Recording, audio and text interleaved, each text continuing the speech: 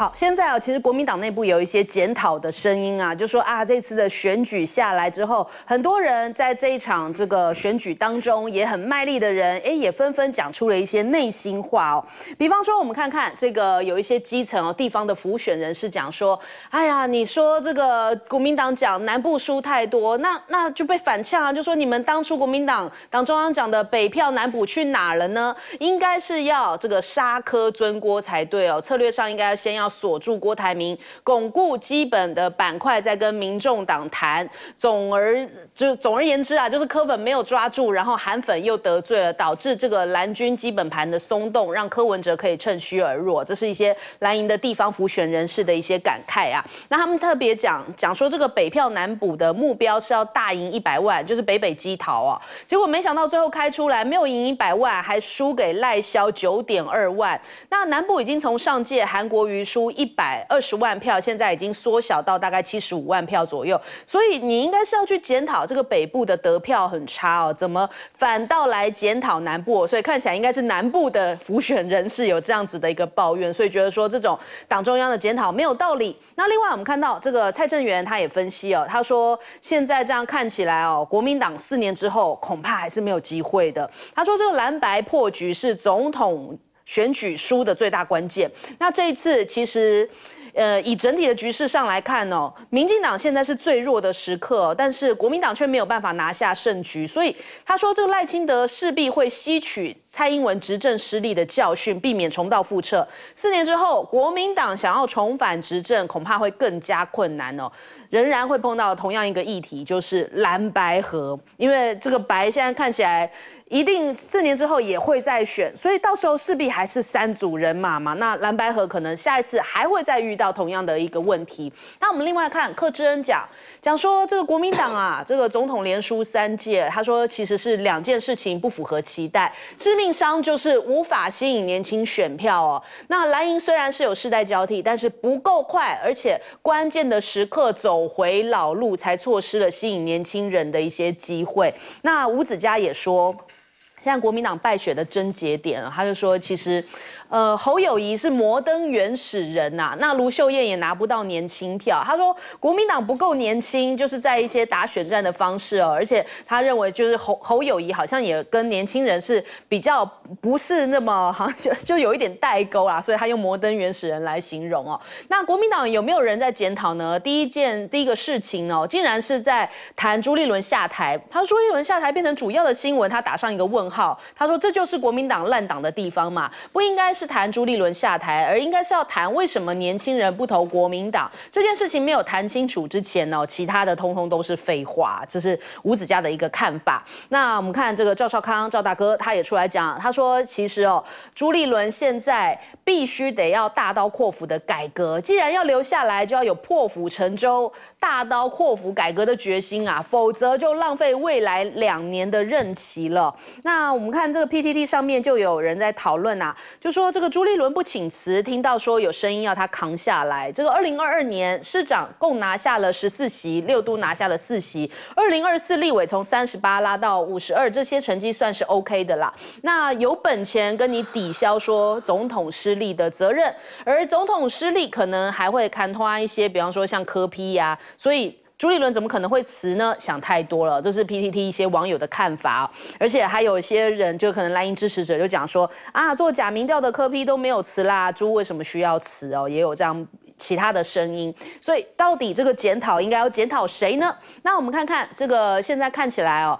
呃，虽然说这个检讨的声音有的是检讨猪，有的是认为说是年轻人不够，但是党魁这个位置现在看起来，外界也在揣测会不会战斗蓝有意要争下一届的党魁呢？现在赵少康哦邀请了一些新任的，就刚选上的第一任的蓝营立委，他们就说，哎，有一个战斗蓝补习班哦，他说他自己当立委的时候评鉴都是第一名的立委，以一挡十啊，会亲自面授经验哦，把这些当选的立委哦。一起拿过来教学教学啊，教他们怎么样以一挡十，以十挡百啊，好像叶问一样，一个打十个那种感受啊。然后扮演好在野的角色，让他们在立院发挥功能，希望将来可以发挥集体的力量。感觉上面是不是战斗蓝也在扩编当中哦？所以我们来看看。这个沈富雄沈大佬也呼应了，他讲说啊，呃，朱立伦不坏，但是做错很多事情。他说这个人最有资格改革国民党，讲的是谁呢？也是讲赵少康哦。他说国民党一直有这种总统选书主席要下台的传统，这次立委选战打得漂亮，那或许朱立伦会以此这个将功赎罪啦，将功抵过。但如果他想通的话，认为请辞恐怕是为大家好。除了赵少康哦，其实没有人有资格来改革国民党。但但是也有一些人讲说，哎呀，这个立委选好也不光是朱立伦呐，立委选好也是这个有韩跟赵的加持之下才开出这么漂亮的一个成绩哦。所以朱立伦还是要为他当初这个推出的总统人选是不是要做一些负责的一些说法？那我们先来问一下杨明哥怎么看这个国民党自己本身的检讨呢？呃，当然，其实你要知道，如果去跟二零二零年比哦，整个就是在一个不对的基准上面比，怎么说呢？这次叫做萨卡都，那上次叫做一对一，嗯，你怎么会把萨卡都的盘去跟一对一来去直接对比？说，哎呀，我们这一次什么什么选票什么南部啊，还少少输，这完全是一个错误的对比哦。我举个例子，如果今天这样的逻辑成立的话，那你可以说，这一次侯友谊输给民进党。只输了九十一点五万票，我们上一次韩国瑜输了两百六十五万票，所以这次国民党大进步，你可以这样说吗？这叫满满的正能量。这种我讲讲出这种话的这种人哦，通通国民党通通不要用了啦。这种就是在蒙骗嘛。但是你说朱立伦该不该为此下来？他应该要提出改革方案，他要提出检讨报告。但是你说朱立伦该不该下台？我也是觉得说哦，以现在的国民党。确实，老实说，党主席是一个苦差事哦。嗯，你的钱的问题，你的这个包括跟地方派系的联联系啊等等的，有人愿意扛这个这个苦差事哦。那可能党内大家都会觉得，嗯，让朱立伦继续做做到二零二五，反正这两年没有选举哦，可能大家会有这样的心态。但是哦，比如说以民进党来讲哦，民进党的秘书长请辞，哎，嗯，那国民党的秘书长，大家请问一下，我就问大家，在选战的后期，有谁看到黄建庭吗？你有看过黄建庭浮选吗？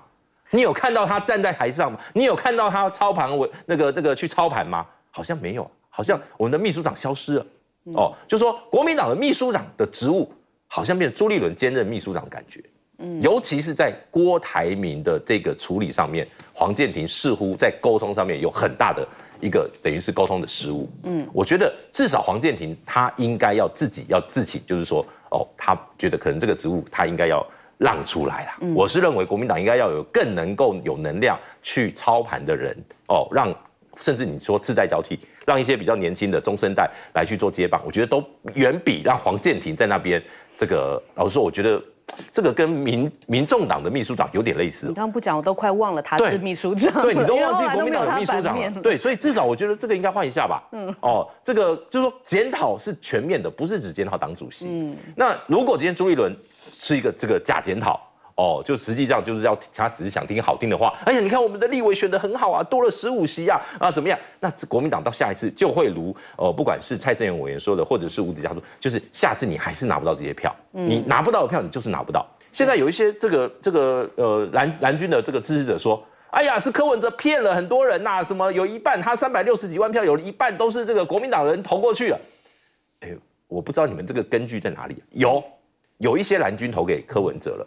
但是你不要忘记哦，侯友谊连政党票都比不上国民党的票，嗯，这才是国民党的危机。你提出一个连国民党基本盘都稳不住的候选人，这是一个很重大的危机。而民众党的政党票有三百万嗯。他三百六十九万的总统票，民众党的政党票还有三百零四万嗯嗯嗯。所以你要说有一半都是国民党，我不我不相信国民党人会这个票总统票投柯文哲，连民众连政党票都投给民众党。嗯嗯。这个我这个我觉得这个逻辑性上面可能要做一些加强哦。当然哦，这个赵大哥未来他在这一次选战里面，短短一两个月让整个蓝军凝聚力变强，这个是不争的事实。嗯。而且他是直面，他是跟年轻人有最多，大概我跟你讲，这八年。跟年轻人互动最多的国民党的意见领袖，恐怕就是赵少康。嗯哼哼，这你看什么去上什么夜夜秀啦，去跟学生座谈啦等等，都直球对决。对，那我觉得这才是国民党要给年纪不是问题啊。柯文哲六十几岁啊，嗯哼，柯文哲的不分区名单是国是十第十一届这个这个立法院党团里面哦，平均年龄最大的党团，平均年龄五十七岁。年龄不是问题，重要的是态度，还有要让年轻人愿意信任。嗯，好，宇轩，你仔细看哦，这一次侯友谊他就算把国民党政党票吹到紧绷哦，但他有一个关键嘛，他二十到四十岁开不出来嘛，嗯，大概只有不到两成嘛，一成出头而已吧。所以这种情况之下，你怎么去算哦？即便是不管是换成是任何一个候选人，国民党候选人，我在讲一个前提，就是你只要年轻票拿不到。你就不可能赢过民进党嘛？嗯，这是一个很现实的问题啊。即便说你不管被柯文哲拉多少或者怎么样，所以你仔细看看哦，当国民党这十二年来已经败了三次吧，每一次都一样，每一次就输了，然后开始说党主席下台换一个人，然后会更好。那我就问各位，主席有没有换？有。那请问国民党有没有更好？没有，还是一样，还是拿不到年轻人的票。而且这个问题已经讲了十年了，特别是呃柯志恩讲的这段话，我自己很有感，因为他一直在。这一段话说蓝营应该要世代交替，但是还是不够快。我听了八年了，哦，光是这八年来，我就一直在听到这样的声音。那但就是还是一样嘛，所以我觉得这根本没有对症下药。我敢今天讲，换作是国民党任何一个政治人物，不然你举给我听，谁可以直接拿到年轻票？有困难啊，有它的难度嘛。所以你知道，民进党他也不算赢嘛，五十一席难看啊。嗯，国民党五十二席其实也没达到目标，本来说要过半的。哦，民进党掉十席，这个已经对他们来讲已经是非常理想的状态了，已经不算大输了。就你知道民进党现在这些落选的人在做什么吗？他们在弄 thread，弄一个叫脆啊，他们你要叫串也可以，他们在用这个大量的去使用这个社群软体。为什么？因为他们很清楚啊，对症下药啊。当时柯文哲就是大量的掌握抖音，那抖音他们不能碰嘛，抖音跟 thread 嘛，你要讲脆也可以，你要讲 thread 也可以，它就是一个社交平台，类似 Twitter。嗯，他们现在所有的候选人落选的。甚至连赖清德、连蔡英文都在大量的使用这个平台，因为他们很清楚一件事情啊，哪里缺乏我们从哪里补嘛。今年我们民进党为什么没办法拿到八百一十七万票？八百一十七，就很简单啊，因为我们年轻选票大量流失啊，所以我们赶快对症下药去针对年轻人去跟他们互动。嗯，那有没有用？有哎，连败选的郑运鹏现在的这个虽然账号都十五万了，他就消费他儿子嘛，说我儿子德德很帅哦，我是德德的老爸，有用啊。但我就反问国民党在做什么？啊，换主席，换主席，啊，改造，改造，我们检讨，就没有对症下药嘛。嗯，所以我讲，你国民党如果真的有心要去接触年轻人哦，你去先去思思考看看，其实最快的方法就是学习已经成功的案例嘛。柯文哲二十到四十岁掌握了五六十趴，你不去看他怎么做，你就是不会做就模仿嘛，去学不就好了吗？不就这么简单的道理吗？这跟主席有什么关系吗？跟哪一个候选人有关吗？我们各位保证。如果国民党不愿意去学习师夷之长技以制夷，人家怎么做的，去好好去效仿这些新的策略或工具，等到了二零二八年，就不用，甚至到二零二六年，你等着看这些败家之将、败家之军会不会因为这些吸引年轻人，反而因此而窜起。如果国民党仍然停留在原地，那就糟糕了嘛。嗯，好，石老师，我们说，如果把这场总统选举当做一个呃产品，三个产品的行销哈，那就是说从产品，然后呢到网络行销、网络包装，到这个董事会改组了哈。OK，呃，我第一个先讲就是说，呃，这个行销的这个部分，也就是说，如果本土蓝是一个呃加盟店，然后呢，呃，这个好知识蓝是一个直营的，然后呢，战斗蓝是这个团购。那我们说哈，这个呃 KPU 的话，大概就是呃呃直销的啦，哈 OK 好，那那这些或平台改变了以后呢，会不会有改变这个东西？我其实是怀疑的，包括包括我们知道 KP 它就是只有对二十到四十的嘛。着力嘛，像我们这种的，他只是到最后说港推的啊。那我爸爸那个根本他们不喜欢民进党，也不会投给他，他们干脆就不投票嘛。所以未来这个这个是说整个社会的这个政策的部分是应该大家要一起在努力的啦。好，因为其实我们看到这次的政策就是产品这个部分，大家一直往中间靠啊。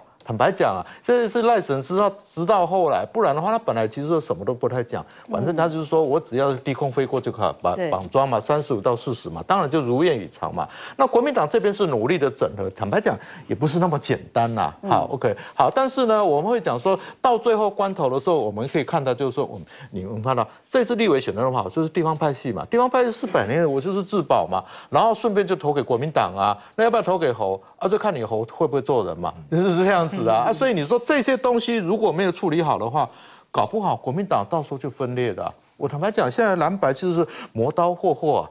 不晓得什么时候把你列解了、啊，好，OK。那当然，这还有一个东西，就是说他的这个政策到最后，我们知道侯最后不得已就是用中华民国的这样的架构之下来，呃，包含这包接受九二共识嘛。但是到最后关头的时候呢，就是说因为马总统，我觉得他用字稍微强了一点点了，就是说好像要对于呃这个习近平等等，我说如果用理解会比较好一点点啦。所以民进党就大做文章嘛，对所以就是这样，到最后就只有这样来区隔啊，哈。那我会觉得说，那董事会换了，年轻化会有改变吗？董事长换人会改变吗？我觉得。嗯，不会改变很多，好吗？好，你看那些小小小小鸡好了，那些小鸡跟小草其实一直在往 KP 那边靠嘛，啊，所以怎么样换了呃董事长，我觉得还是一个很大的问号。嗯，好，我们先休息一下，广州马上回来。